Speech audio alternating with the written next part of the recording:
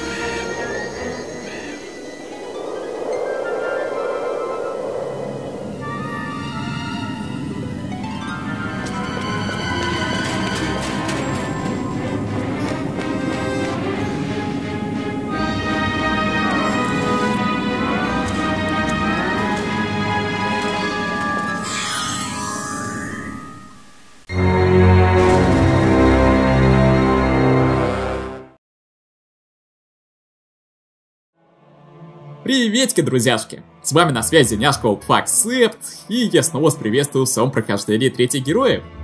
Да, ребята, я снова вместе с вами, а прежде продолжаем проходить этот цикл, пришло же само время, согласитесь.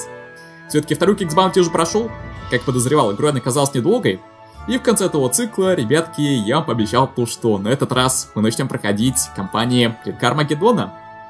Это будут вторые по сложности в этой игре кампании, то есть самое сложное у нас по-прежнему остается Дыхание Смерти, Затем э, уровни сложности в этих компаниях тоже никак не меняются, как и Возрождение Рафии. Только, опять же, там же Дыхание Смерти такая возможность появится наиболее официально, я вам напомню. Ну и события Клинкар Магеддона по местной хронологии начинают в последнюю очередь. Ну и тогда, возможно, вы зададитесь вопросом, почему я решил пройти эти кампании именно сейчас, почему бы не оставить их на потом, раз уж они у нас идут самыми последними. Ребят, если бы я все проходил в правильном э, сюжетном порядке, тогда бы я начинал именно с Дыхания Смерти. Потому что они по сюжету третьих героев начинаются даже раньше, чем от рождения Рафии. Да, вот как-то так. То есть, получается, мы начнем самого сложного, потом внезапно, когда компании становятся самые простые, и под самый конец компании становятся просто средние, и как бы на этом все, все заканчивается. Ну, как-то немного странно, ребят, получается, согласитесь. Поэтому я решил сделать немного по-другому. Я решил проходить все в том порядке, в каком эти дополнения все выходили. Соответственно, тогда у этих компаний будет постепенно повышаться уровень сложности, и будет появляться что-то новенькое со временем. На это можно будет делать акцент. Я думаю, так мне будет смотреть гораздо интереснее. Ну и что у нас из новенького появится в том же Клинкер Магеддона, чем может похвастаться? А похвастаться он может парочкой новых артефактов, новыми объектами существами, как же без всего этого, их там будет очень много. Ну и что еще немаловажно, так это целым новым городом. Ребята, вот представляете, в этом дополнении целый новый город появится. Такого даже дыхания смерти не будет, я так скажу. И, надо сказать, э, этот новый город мне в детстве очень сильно порадовал.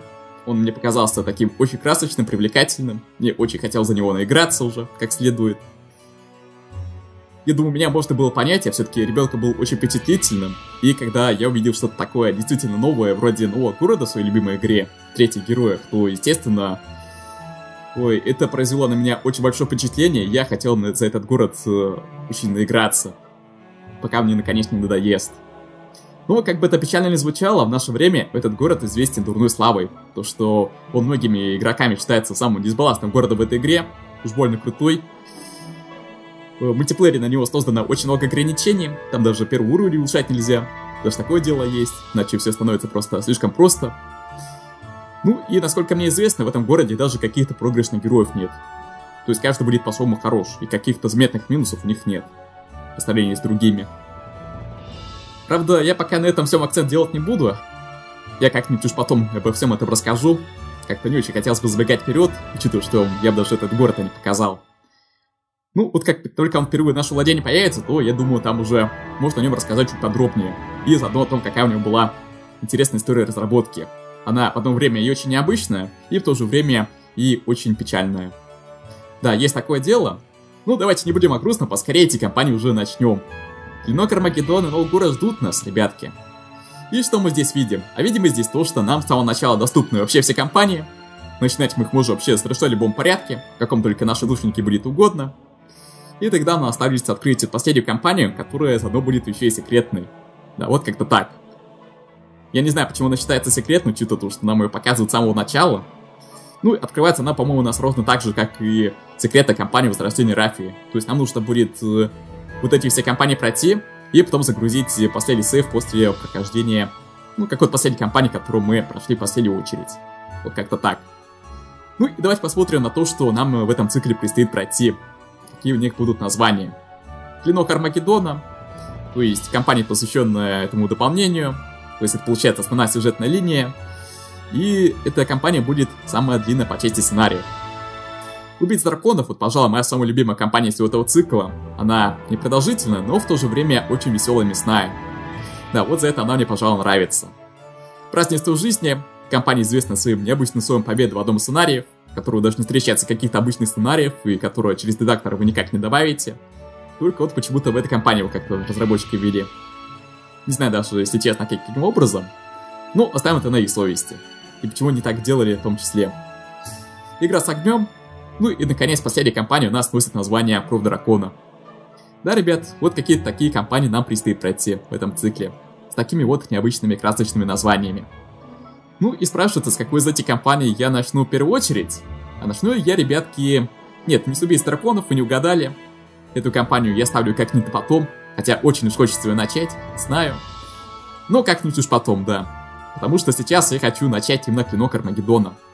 Я напомню, это компания, посвященная э, основной сюжетной линии то дополнение, так что неплохо было бы и с ней для начала знакомиться, прежде чем каким-то другим компаниям переходить. И зато да, вот компания предлагает пройти первую очередь, так что почему бы нам этого самого начала не сделать, согласитесь. Давайте именно с нее начнем. Ну и что нам здесь предлагает сделать в первую очередь? Нам здесь предлагает выбрать один из двух сценариев. Какой из них мы будем с самого начала проходить? Я вам так скажу, то, что выбор здесь опять же ни на что влиять не будет, как и в некоторых компаниях Возрождения Рафии. Правда, там в некоторых компаниях была еще такая тема, то, что там э, можно было какой-то один артефакт взять в одном из этих сценариев, потом э, альтернативно менять его на что-то другое, тоже не очень полезное.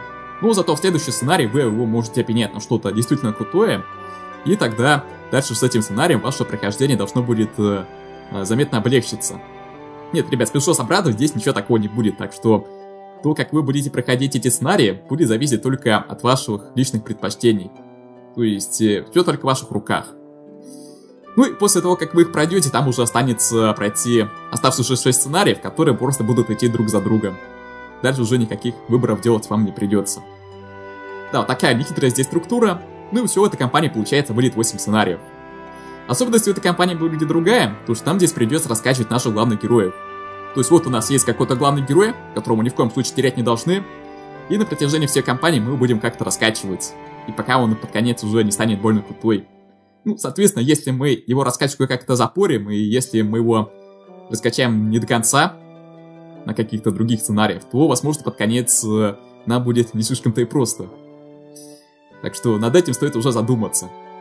Такая особенность будет и в других компаниях Клинка Армагеддона, но конкретно в этой главных героев у нас будет несколько. И каждому из них у нас поначалу будет посвящен какой-то отдельный сценарий. То есть, например, вот в этом сценарии у нас один герой, в этом уже другой, потом в другом сценарии у нас уже будет какой-то третий новый герой. Ну и там уже под самый конец, уже в последних двух сценариях, эти герои наконец-то друг с другом встретятся и уже будут как-то влиять на судьбу этого мира. Вот какая такая у нас будет интересненькая эта компания, согласитесь. Ну и давайте, я ради приличия уже сочетаю описание, там уже будем делать выводы, что нам здесь предстоит сделать. Итак, королева Катерина, ее муж Роланд и Ело. Да, ребят, Ело. Так вот решили привести наши любимые буковцы имя Джелло, ну или хотя бы Гилу, или как так вот. Потому что там в самом конце его имени стояла именно буква У, а тут вот почему-то Гело, ребят, стоит. И, если честно, не знаю, о чем думали наши переводчики. Ну, оставим это на их совести.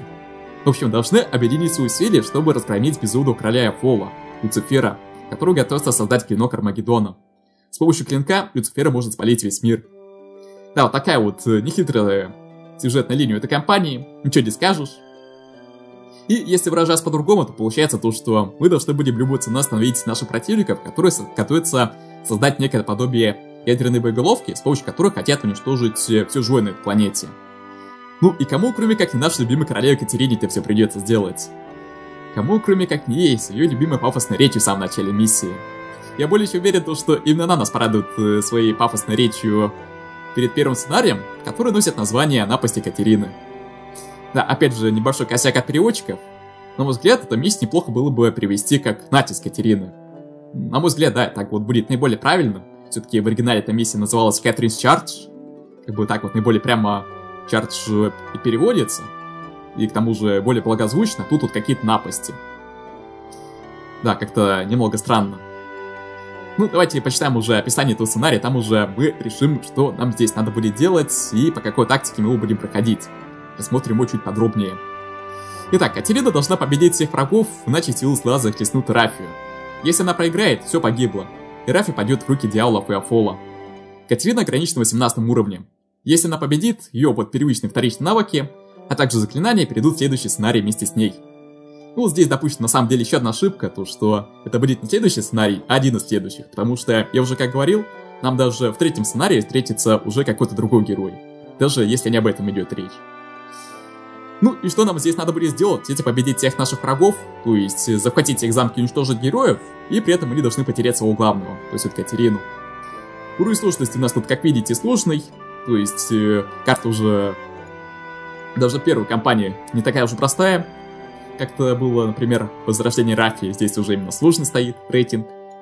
Ну и размер карты у нас средний, то есть бегать мы здесь будем э, не так, наверное, э, мало, как на, на той же маленькой карте.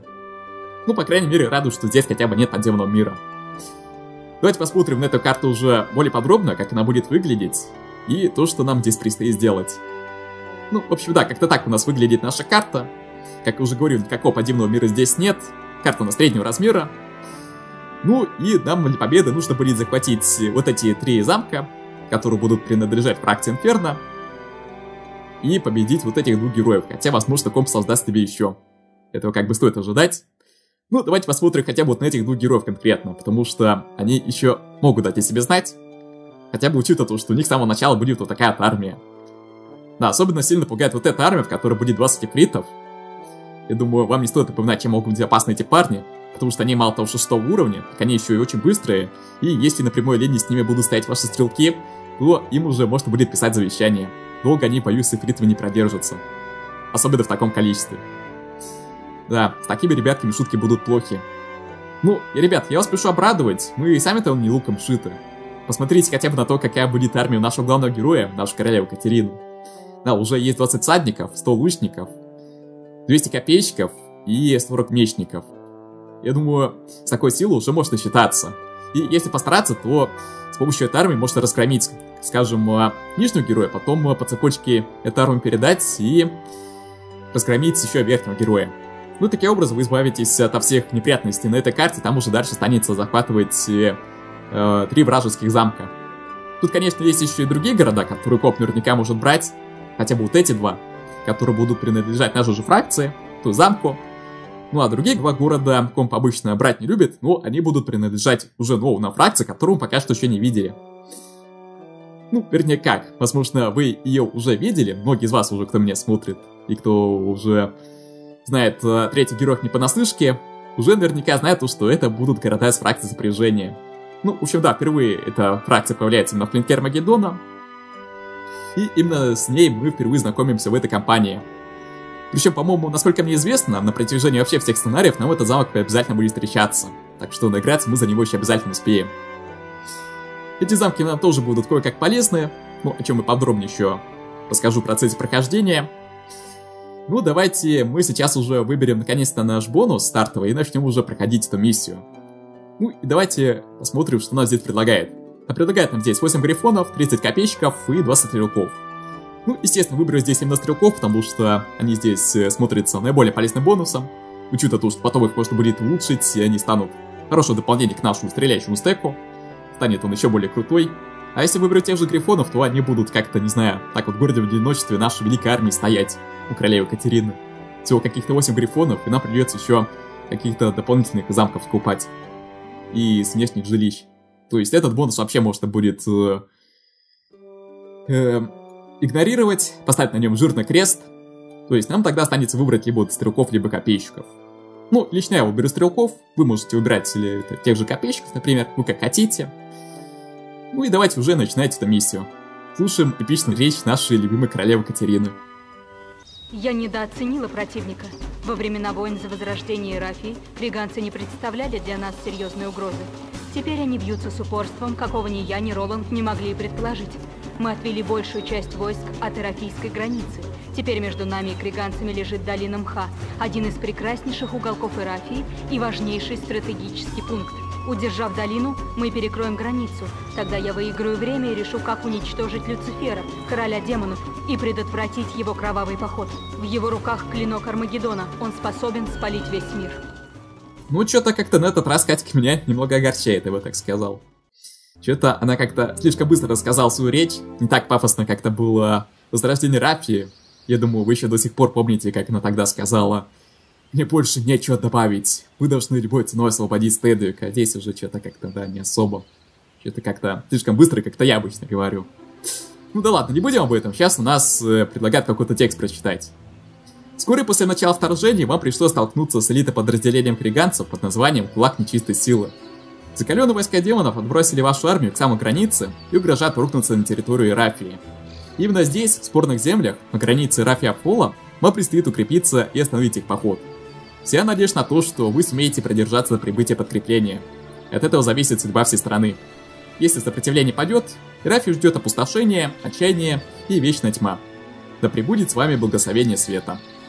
Да, ребят, все как обычно. Если мы проиграем, тогда нас ждет только полная безысходность и все самые плохие вещи. Короче, мы проиграем. Вообще, полностью. Так что мы должны просто любой ценой наших противников победить. Или должны дать им осуществить их планы зловещие. Я с этого расклада, ребят, сразу скажу, играть не буду, я лучше загружу сейф, который выбивал перед началом э, записи. Это у меня 33 сейф, давайте его загрузим. И заодно расскажу вам о том, что я здесь, собственно говоря, выбил. То есть я несколько раз вот выбирал ту опцию, переиграть сценарий, пока мне наконец не выпали вот такие вот навыки. Вот э, как минимум я выбивал вот ради второй ступени мудрости, чтобы я смог э, как можно скорее раскачать этот навык до третьей ступени, там уже смогу изучать заклинания пятого круга. А я вам по небольшому секрету расскажу, что у нас, что противника, замки будут очень хорошо отстроены. Потому что давайте посмотрим хотя вот на этот город, тут как видите уже есть Капитолий, 4000 голды приносит день. Потом еще максимальное укрепление, ну, примерно так же все обстоит ситуация в других замках. Уже, как видите, тысячи золотых приносит день. Тоже так вот неплохо. Ну, примерно то же самое, в общем, будет у компа. Там самое главное, буду стоять уже сразу гильдии магов пятого круга. Соответственно, если мы к этому моменту раскачаем э, мудрость до третьей ступени, то мы сможем э, все находящиеся там заклинания изучить, и в том числе и дверь измерений, которая может быть полезна в последних сценариях. Причем даже очень полезно. То есть я из своей королевы Катерины сделаю знатную прыгунью. Раскачаем мудрость до третьей ступени, потом еще неплохо было бы и магию воздуха поднять. Ну и магию воздуха я смогу изучить э, вот в этом городе. То есть в городе сопряжения. Там будет находиться такая постройка, как магический университет, который позволит мне изучать навыки, посвященные вот каким-то стихийным кругам. То есть вот магию воздуха, например, сразу же могу там взять. И потом после получения нового уровня я смогу эту магию воздуха уже начинать раскачивать. То есть так вот у нас развитие хотя бы будет более эффективным. Ну, вроде рассказал все, что хотел. О моих планах вы уже примерно знаете. То есть, э, с самого начала мы выносим вот этих двух героев, потом Катерина у нас встречает здесь магию воздуха, и дальше мы начинаем захватывать вот эти все замки. Как-то так вот. Ну а теперь все. Заводим Катерину наш главный город.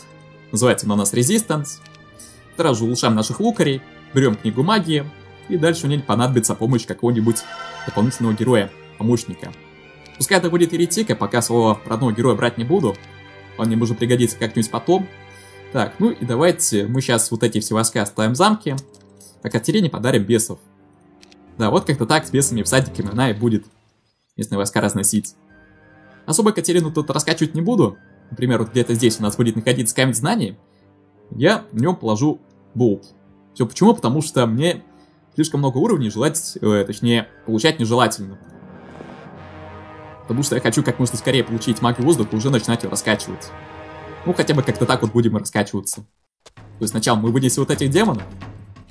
Как вот так вот мы быстренько это сделали. Вообще без потерь. Ну, с этим бесом мы даже церемониться не будем. Включаем уже следующую тысячу. Ну и с этой группой диалов мы разберемся еще даже проще.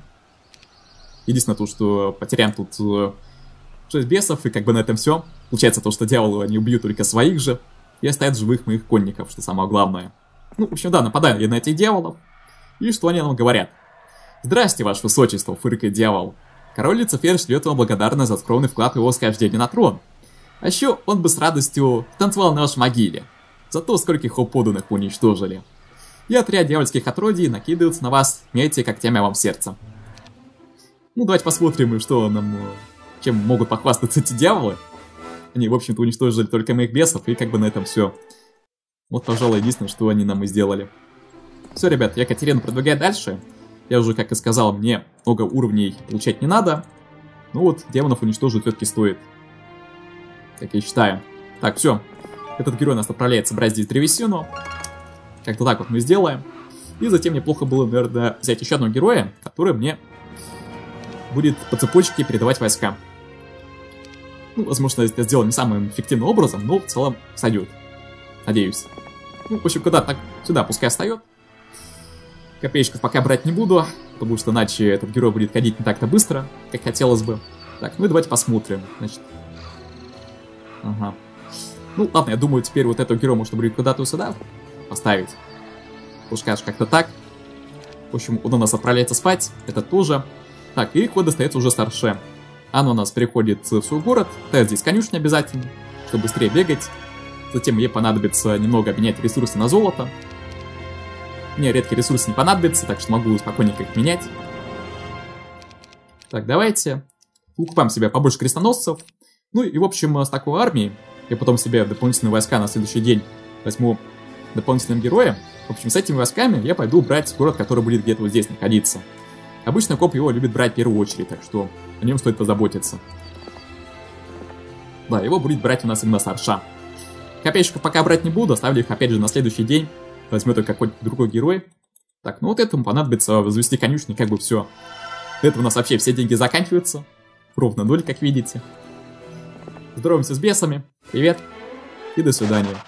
Получаем первую ступень ворожбу. И дальше неплохо было бы на следующий день напасть на эту стаю рогатых демонов. Они сохраняют такие полезные артефакты, как боевой цепь гнула на 4 атаки и корона дракона на 4 единицы э, знаний и силы магии. То есть такие полезные артефакты охраняются они там всего лишь какими-то 10 демонами. Вот как-то так. Ну все, ребят, по идее, я ход уже сделал. Передаю противнику. И как-то так вот у нас интересно сходил. Уже заметил здесь передвижение вот этого сильного уражского героя. Я уже знаю, что с ним примерно делать. Ну, в общем, что я сейчас делаю? Я сейчас беру с собой вот эти все войска. Копейщиков забираю из этой башенки, с караулки. Так, дальше меня войска следующего образа. Так, пока что я Екатерине передавать их не буду. Катерина у нас сначала разобьет вот этих демонов. Здесь потребуется просто один раз подождать, потом можно будет их добивать. Они-то, по-моему, что-то сказали, то что сколько бы ни старались, мы все равно победим. Что-то вроде такого, они в итоге опять же больше хвастались. Да, демоны, они, как обычно, хвастаются то, что они все такие крутые, а на самом деле нифига подобного.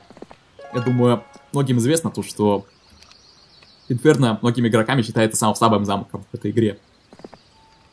Как-то так вот. Так, ну, в общем, Катик у нас идет вниз. Вполне добегает до этого героя. Ну, пока что я на него нападать не буду. С самого начала неплохо было бы мне взять вот этот город. Я тут смогу взять своего родного героя. В общем, сейчас я наберу тут ту же Шиву. Можно взять еще одного лучника. Чтобы помогал мне при осаде замка. Чтобы принимал на себя удар. Придаю всю эту армию Солше. Лучников водили как-то так, сюда поставим крестоносцев. Ну и теперь Сарша отправляется брать замок Голдентон. Ну, кстати, вот он, тот самый город уже виднеется новый. Его башенки, сопряжение. Да, вот как-то так он у нас выглядит, такой вот необычный. магический город с элементалями, всеми делами. Ну и что у нас здесь находится, это до 50 огненных элементов или 50 уже ледяных, да, уже такие вот появляются. Это улучшенная версия водяных будет, что потом еще увидите. Так, ну давайте нападать уже на этот город. По идее, Сарша уже вполне успевает это сделать. Ну, теряем мы здесь по большей части друг двух крестоносцев, еще несколько копейщиков. Ну, берем вторую ступень защиту. Пожалуй, как-то так.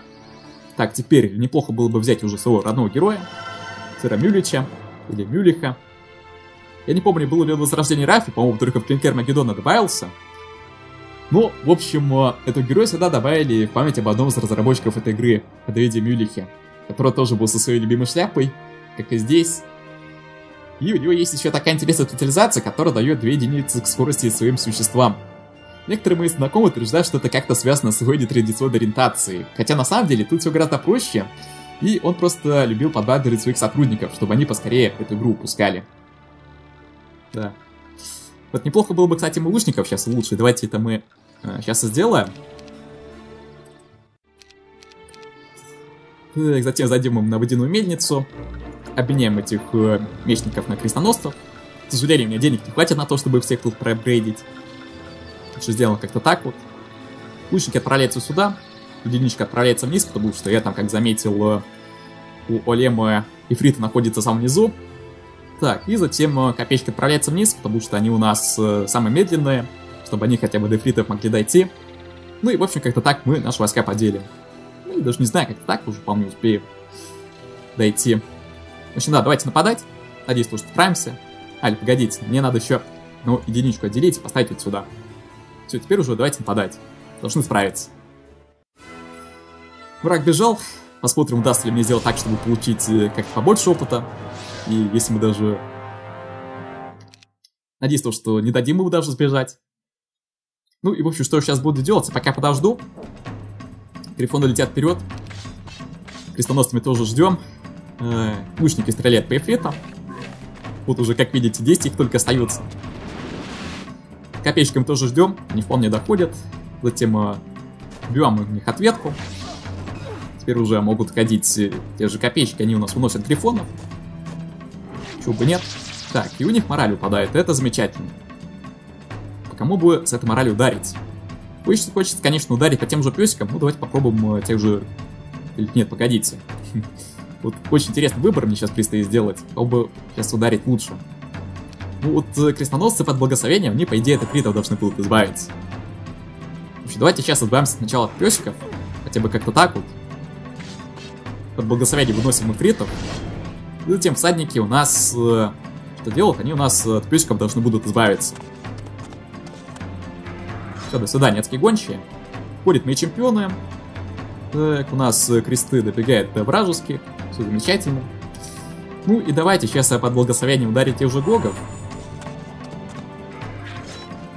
Морально упадает, конечно, не очень хорошо. Так, ну мне остается только от этих демонов избавиться. Пожалуй, как-то так. Да, вполне избавляемся. Баллиста, правда, не убиваем, но фиг с ней. Получаем 5167 единиц опыта за этот бой. И с такими потерями мы, в общем, всех выносим. Да, ребят? Получаем за этот бой третью ступень мудрость. Затем Катька у нас стоит куда-то вот сюда. И неплохо было бы у нее забрать э, все войска, кроме тех же всадников. Да, как-то так вот мы сейчас делаем. Парочка всадников остается в владении Сера Мюриха. Так. Передаем э, Сарше одного всадника, чтобы быстрее на следующий день бегала. Так. Ну, в общем, как-то так вот мы и сделаем. Сэр Мюлих у нас отправляется вперед. Или даже пускай остается в замке, пускай спит. Так, что делаем дальше? Кадберт у нас выносит демонов, забирает их артефакты, которые охраняли. Идет вперед. Так, Иона. Что у нас делает Иона? Она у нас пойдет наверх. У нее, по идее, ходов должно вполне хватить чтобы хотя бы до сюда добежать. Там у нас где-то сверху будет еще вражеский герой находиться, но, по идее, до меня сейчас не успеет дойти. Так что все нормально. Так, ну, у нас почти все походили, у нас единственное остается еще Шива. Давайте куда-то сюда и встанем. Так, теперь Саршам. Она у нас пойдет вниз, она будет брать первый вражеский город. А Катька, она пойдет к сопряжению. Она пройдет к нему как-то вот так вот. Таким образом. Так, ну, Аксир, он пойдет просто на клеточку вперед. Вот, пожалуй, все. На этом у нас завершает очередной день. день второй. Избавляемся уже от сильного вражеского героя. От самого сильного. Там у нас будет бегать э, чуть более слабый. Ну, надеюсь, что проблем у нас не возникнет. Так, теперь Сарша. Беги вперед. Станешь он у нас куда-то вот сюда, чтобы сильно не, не провоцировать врага на то, чтобы он тут э, выкупал себе какие-то войска в местном замке. В общем, да, если я стану сюда, тогда там никаких войск не будет, и Сарша может этот замок взять вообще со спокойной душой. Так, теперь э, Кадберт у нас стоит куда-то вот сюда хотя бы, для начала. Катька, вот ей неплохо было бы войска сейчас передать какие-то офицера Мюриха. Так, в общем, сейчас я хотя бы как-то вот так вот сделаю. Да и вот этих ребят владения. Так, и неплохо было бы, наверное, нанять еще одного героя, вот, скажем, э, Дамона, который пойдет со своими войсками, пойдет их передаст э, какому-то верхнему герою. Скажем, э, Сирону. У скорость позволяет на то, чтобы войска от Эрдамона взять и передать их э, той же Ионе. Вот Ион у нас будет, пожалуй, главным героем, который будет вырубать верхнего вражеского. Хотя бы как-то так вот. Сюда забираем вот от все войска. Ставим куда-то вот сюда. Затем, Кадбер, давай-ка передавай наши артефакты. И стрелков. Так, отлично. Передаем артефакты. Коник остается у Кадберта в владении. Он мне потом уже пригодится. Еще знаете почему. Так, ну и теперь Иона. Вставай-ка, наверное, куда-то сюда, или можешь уже даже от этого героя избавиться. Хм. Очень интересный выбор, конечно. Ну, знаете, ребят, как я лучше сделаю? В общем, если сейчас стану сюда Кадбертом, тогда этот герой гарантированно на него нападет. А если я стану Ионой куда-то вот сюда и нападу на тот же замок, тогда как бы все будет нормально. В общем, да, замок я за собой захватываю. Можно будет в него зайти. Можно будет даже на лучниках разогнаться, почему бы нет. Одного оставим в владении Ионы. Так, Сарша. Она стоит на месте. Так, а Катька? Вот у Катьки будет день очень интересный. Она нас пойдет вперед пробьется через огненных элементалей. И что нам здесь пишут? Перед вами отряд воинов, сотворенных из языков пламени. Не мигая, они смотрят на вас. И вместо приветствия бросается бой. Похоже, это местная стража. Так, ну давайте посмотрим на то, как эти стражи могут перед нами похвастаться.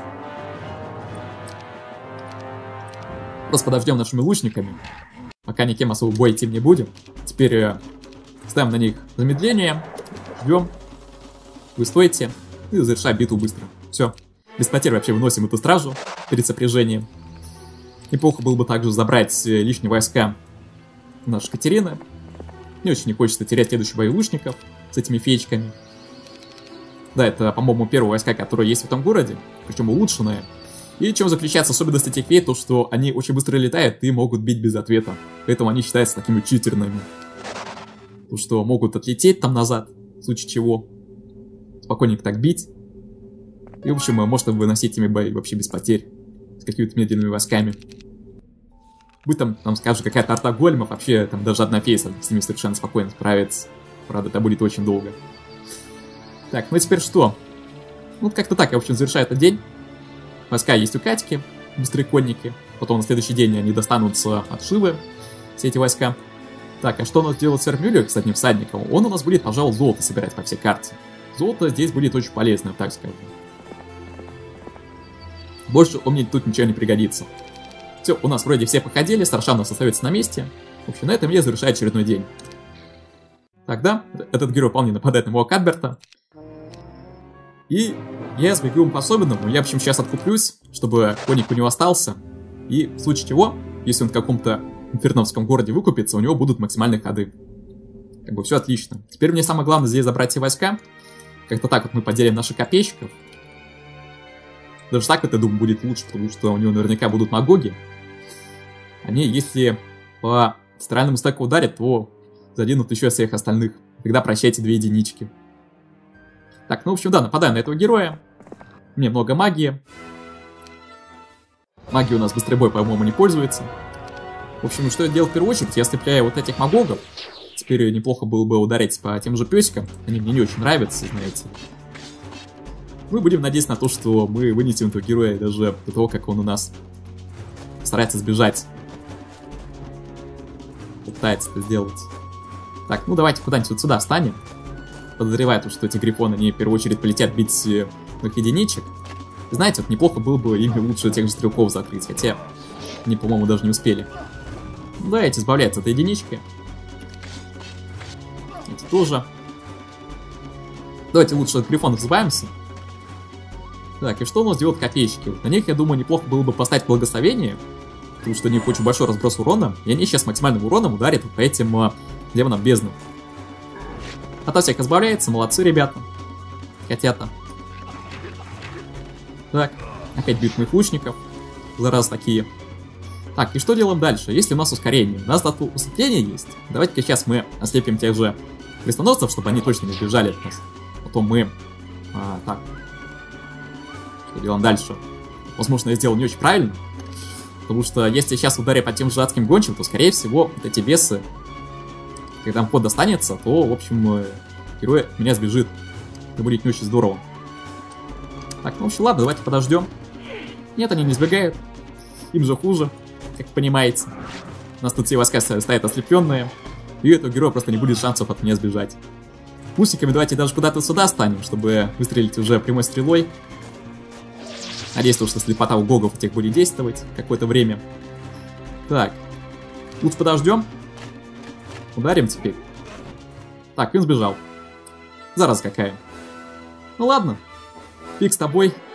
Там вроде даже не так много кого потерял, там в основном только копейщики были 9 лучников. Второй ступени разум, книжник, магия земли. Неплохо так качнули этого героя. Так, Иксирон у нас теперь побежал куда-то вот сюда. Он у нас будет брать второй инферновский замок. Может даже забрать этот сундук. Да, и вот на этом, пожалуй, мы ход и завершим. В том случае чего у нас Артемон может передать по цепочке ему войска, если вдруг понадобится. Куда сюда пускай остается. Так, а затем Катерина, вот я ей хотел войска через Шивы передать. Так, ну давайте как-то так по-прежнему мы поставим нашу армию и нападем на этот город, который носит название Саутердейл. Давайте нападать, чего бы и нет. Перед вами раскинулся город незатейливой, ой, наоборот, затейливой архитектуры. Круглые башни, высокие шпили, странные шумы, исходящие из его стен. Лучший из ваших ученых теряется догадкой, что бы это могло быть. В прошлый раз никакого города здесь не было. Когда он успел возникнуть, кто его построил? Догадки одна за другой проносятся в вашей голове. Только бы верный ответ не значило услышать поражение еще более печальную судьбу Леерафи, чем владычество демонов. Да, ребят, этот город возник вообще из ниоткуда. Сопряжение, город элементалей. И, наверное, они пришли сюда с благими целями, чтобы нам как-то помочь. То есть, вообще как-то с какого-то нового измерения этот город так появился. И теперь это какая-то вот местная база. Стала. Так, ну давайте подождем, наверное, нашими всадниками. Ставим благословение на лучников. Крестоносцев подождем. Выстрелим по ледяным элементалям. Так, и теперь бьем огненным. Да, неплохо они по нам так вот ударили. Там было 7. А тут всего лишь 3. По идее, мы тут потеряем только лучников. Очень на это надеюсь. Так, ну теперь у меня магии, по идее, вообще нет, так что мы бьем по нашему, ну, вернее, по вражеским ледяным элементам, нашими всадниками. Так. Ну да, теперь здесь только 7 лучников, даже не такие же большие потери, как было тогда. Там не помню, что было, по-моему, там еще как-то всадников умудрилось потерять, или крестоносцев. Ну, в общем, давайте зайдем в наш новый город и посмотрим на то, как он у нас выглядит изнутри. Да, ребят, вот как-то так выглядит наш новый город. Сопряжение называется. Такой вот красочный. Сразу видно то, что город у нас такой вот магический чисто, с элементарями, всеми делами. Ну, я думаю, то, что тут не трудно заметить, то, что город у нас сделал на скорую руку. Насколько мне известно, за основу здесь был взят э, фон, который вы уже видели в самом начале этой миссии, которую нам показывали в брифинге. Потому что там тоже были такие вот горы, такие вот пейзажи. Ну, просто здесь решили лишнее вырезать и потом просто налепить сюда всяких построек. Да, город у нас здесь сделан на скорую руку. Это все связано с тем, что изначально Клинок Армагеддона планировал развести другой город. Ну, я думаю, то, что вам уже нет смысла это все заново рассказывать, учитывая то, что я вам тоже все рассказывал в спецвыпуске по седьмой мече магии. Так что, я думаю, будет лучше просто ставить э, в описании под этот ролик э, ссылку на тот спецвыпуск про нереализованные особенности седьмой мечи магии. Я там ставлю соответствующий там код. Соответственно, когда по ссылке перейдете, то там я уже начну рассказывать про тот самый город. Да, была неприятная весьма ситуация, то что решили разработчики вести один город, потом э, начали фанаты возмущаться, то что им там что-то начало не нравиться, начали писать э, всякие письма с угрозами этим всем разработчикам, и пришлось тогда делать вместо одного города сопряжение. Ну и, в общем, давайте посмотрим на то, кто у нас здесь вообще обитает. У нас тут обитают по большей части вот эти все элементали, печки, которых вы уже видели, правда здесь у нас пока что не улучшенные. Да, вот этих всех элементов вы уже видели. И у нас еще кто здесь к тому же появляются какие-то новые, которые называются элементали мысли. Ну и самыми сильными у нас здесь является жар птицы, который потом еще грейдится до фениксов, которые потом еще после смерти могут возрождаться. Да, такая вот у них интересная особенность. В принципе, что похоже мы уже видели в замке волшебницы из э, первых и вторых героев, там тех же фениксов и феечек. Правда, у нее тогда не было элементалей. В общем, решили как-то так вот разнообразить войска волшебниц по двум замкам. То есть, э, какие-то войска там достались в оплот, а какие-то вот в этот город. Как-то так вот решили сделать. В общем, да, город у нас тут полностью магический, такой вот интересный. У нас тут доступны такие вот интересные постройки, как волшебный обод, где эти фейс все появляются. Элементы нанимаются в различных алтарях, и потом которые апгрейдятся до храмов. Ну и, как я уже сказал, я здесь буду возводить такую постройку, как магический университет, который позволит мне изучить такое умение, как магия воздуха.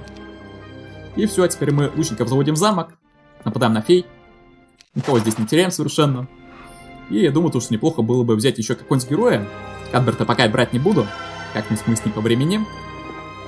В общем, а, а, погодите, я же хотел этим героем взять отсюда лучников. Капец. Так, ну ладно, я надеюсь, то, что Шу сейчас успеет исправить эту небольшую ошполошность и передать лучников вот этому герою. Да, вот теперь уже делаю все более-менее правильно. Простите меня за это. Ну, я думал, пока конника можно было даже не брать, я как-то с этим поспешил явно. Ну, в общем, ладно, пускай будет. Теперь, Катька, нападай на этих темных элементалей. Тоже должны без потерь их вынести. Это как-то текст я даже не прочитал, уж извините меня за это. Надеюсь, вы там успели поставить на паузу зачитать. Ну, в общем, да, ребят, я тут уже, как заметил, тут нам тексты стали кидать э, как-то почаще, чем это было в Возрождении Рафи. Там э, текста было как-то не актив, в основном текст там приходил э, там в начале там какого-то дня, и там единственное, что рассказывалось, так это то, там, где какие-то замки находятся, или еще что-то в этом роде. А здесь уже кидают побольше этих сюжетных вставок, и что самое главное, там еще в дальнейшем будут э, разговоры между героями, то есть, соответственно, сюжет э, в этом дополнении стал проявляться более интересно. Это уже стоит разработчикам отдать должное. Получая здесь вторую ступень магии воздуха, все, начали уже ее раскачивать, все замечательно. На следующий уровень уже повысим ее до экспертной, до третьей ступени.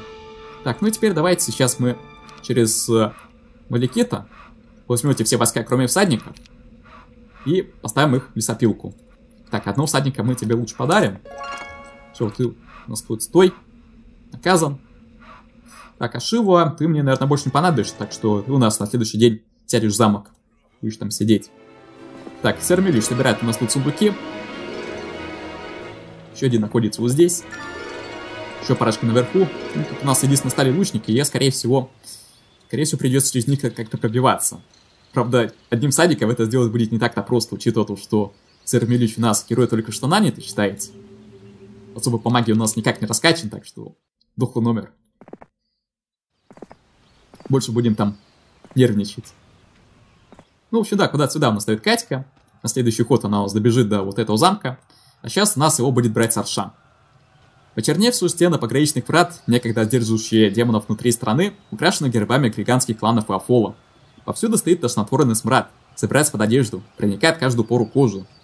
Ядовитое вулкане вулканов Афола проникло в окрестные земли, погубило деревья и цветы. Если король Люцифер притворит свой зловещий план жизнь, такая судьба ждет свою рафию. Теперь все зависит от вас. Вам страшно, но страх за родину только укрепляет дух. Да, ребят, вот действительно было бы страшно, если бы вот эти все живописные просторы бы превратились вот такие вулканические земли. И очень красивые. С такими вот опаленными деревьями, везде лава бы текла. В общем, э, да, не самое приятное бы будущее ждал бы наши земли. Так, ну пока что здесь построить ничего не смогу. Единственное, то, что неплохо было бы поставить тот же портал города. Ну, хотя бы уже на следующий день. Ну, еще да, я на это, пожалуй, день завершу. Больше тут ничего не сделаю. Кадберта буду нанимать вот в этом городе. Да, следующий день, ребятки. Так, ну и что у нас будет происходить на следующий день? На следующий день надо будет сейчас э, передать э, цепочке войска от Иона. У нее не находится. Так. Меняемся. Передаем артефакты к Сирону. Дернки немного не успевает, но по идее, если сейчас возьму вот этот город, у нас там э, курс будет немного более выгодный. Там будет стоять просто еще один рынок. Так, ну теперь мы передаем войска к Сирону. Как-то так вот. Артефакты. Так, Эксирон. Очень надеюсь на то, что в этом замке вообще нет никакой охраны. В общем, пойдет его брать. Гафол. Край демонов и дьявольских отродий. Говорят, боги наслали на людей криганцев за грехи тех, кто утратил веру. Ночь падающих звезд стала для смертных знаком тьмы проклятия. Я, когда цветущие земли Афола почернели, оплавились, с сверкающих кристально чистых рек и озер текут реки лавы, оплавляя берега. Печальное зрелище. Тем более нельзя допустить, чтобы проклятие Афола пришло к границу. Короля Люцифера надо остановить, иначе весь Антагрич, ну, на самом деле Атагари, или Тагарич хотя бы, буква здесь пропустили, ожидая страшную судьба родины полуростиков. Да, ребят, когда Теофол был стороной полуростиков, как-то жили здесь себе спокойненько припеваючи, и тут бац, и внезапно с небес на них свалились демоны. Да, что подобное было в Меч Магии 6 Благословение Небес, там тоже упоминалось это Речь падающих звезд, то, что эти демоны как-то повлияли на деревню наших главных героев, на пресную воду. В общем, там с ними тоже приходилось разбираться.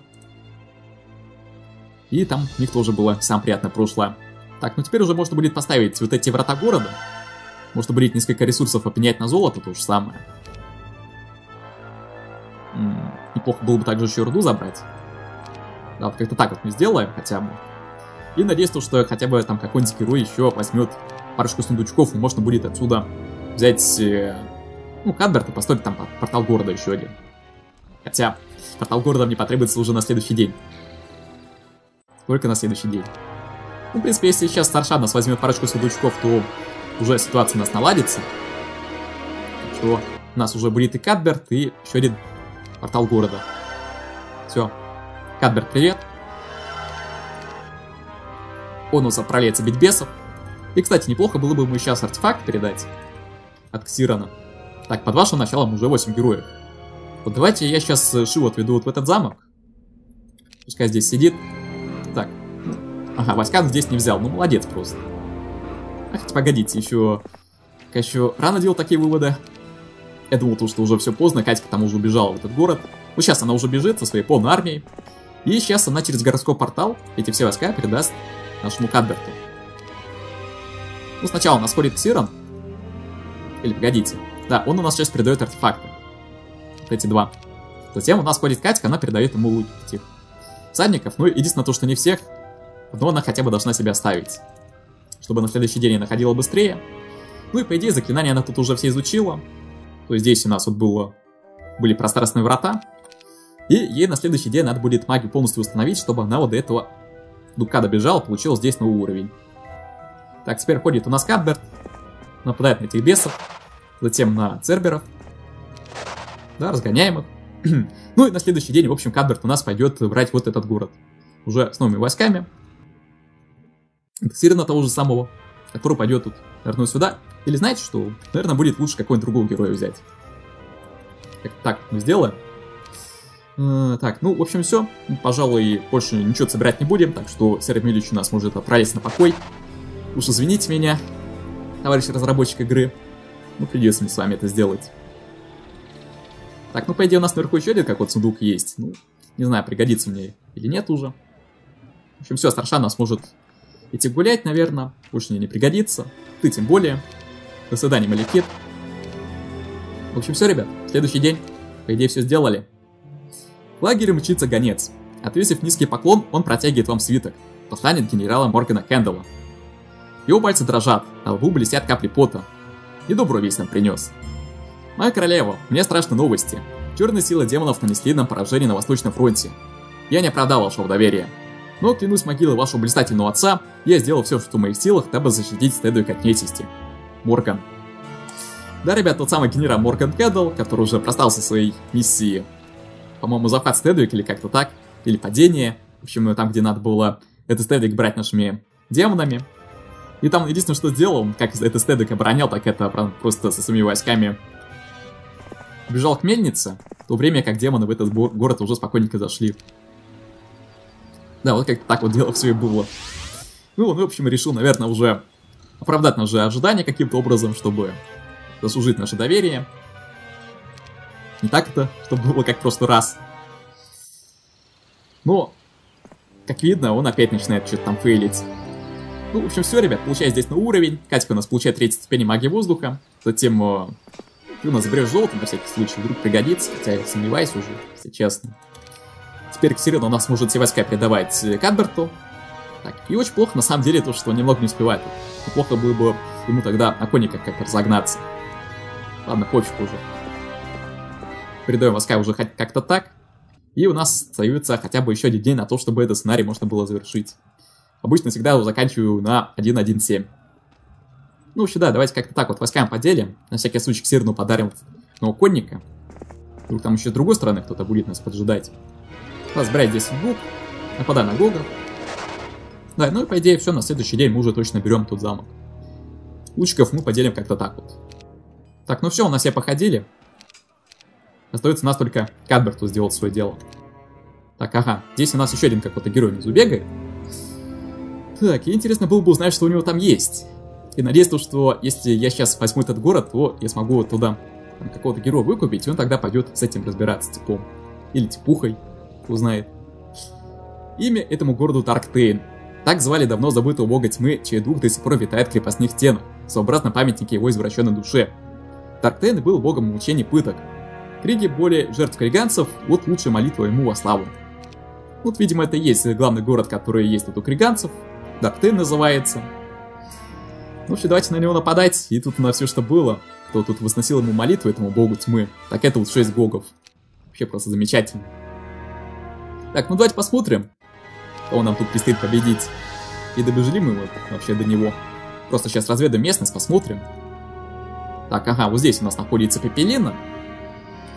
Давайте сейчас мы от этого героя избавимся и посмотрим на то, успеет ли нас кто-то до этой Пепелины добежать. Ну, например, Гретта.